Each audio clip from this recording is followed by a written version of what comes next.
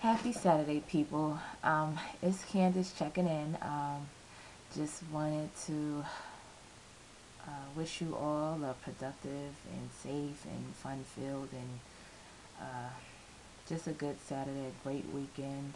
I just wanted to check in with you guys because I'm starting work in a few and I'm waiting for my assignment, so I had a little downtime.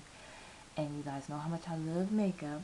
So I decided to do a quick look and I wanted to show you, you know, the products that I used. Um, for starters, I started off with Milani's I Heart You eyeshadow. It's a baked eyeshadow. You can use it either wet or dry and number one is 602. Came out a while back but I haven't really used it much. I think I used it like twice and I didn't like how it came out both times so I decided today and today came out pretty cool um, there it is. You know hopefully you can see that. Okay.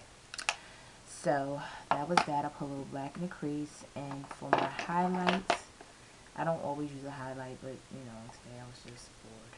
So I use Wet n Wild um, Vanity palette. I actually use this color right here if you can see it. So the color right right here. Alright um, and I finished it off with uh, L'Oreal's Voluminous uh, Carbon Black Mascara. It's pretty good mascara. Just started using it. Um, I contoured with uh, L'Oreal Queen Collection uh, bronzer, um, Ebony Bronze, and I mean CoverGirl, excuse me, CoverGirl. Um, then I used Wet n Wild Berry Shimmer Blush $2.99. This blush is the truth. You have to get it. If you don't have it, man, I don't know what you're thinking, but you really need to get it. It looks great on most skin tones. It's really, really pretty. Really, really pretty blush. Okay.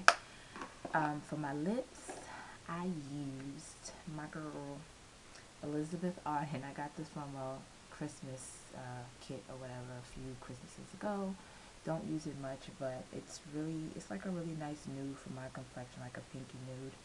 And it's called exceptional lipstick in soft red. So that's that. And for my lip gloss I use Youngblood and this is in Champagne Ice. This is a really nice lip gloss really expensive though. Um, there's that. Has a doe foot applicator. And um it, you know, basically. Um, so just want to let you guys know that I am a blogging fool.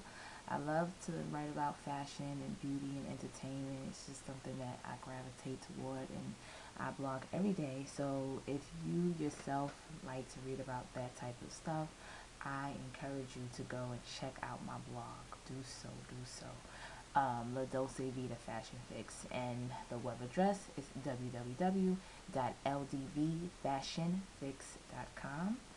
Um, just this week I did a breakdown of um, Tyra Banks' look on the cover of I Love You magazine. That's a German uh, publication. She did a bright um, yellow lid and I found some um, great products that could, you know, you could possibly duplicate the look and um, I covered, you know, different um, trends. I did a sneaker post. A lot of people, you know, sneakers have been forgotten a lot lately. Like, all we do is wear our heels and our flats and stuff like that. But I love me some sneaks. So I found some cool, fashionable high tops for ladies so we can look chic too. Um, what else did I do this week?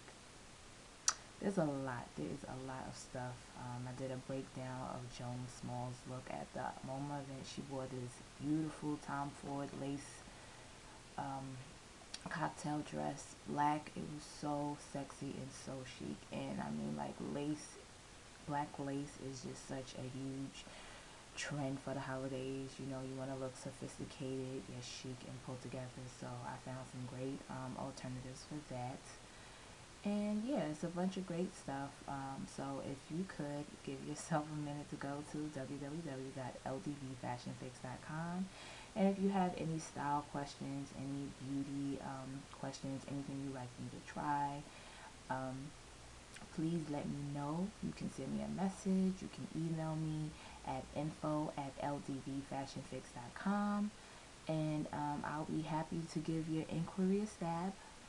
So, um, yeah, that's about it. I think that's all I have to talk about. Yeah, so um, I guess I will be talking to you all soon. All right, bye.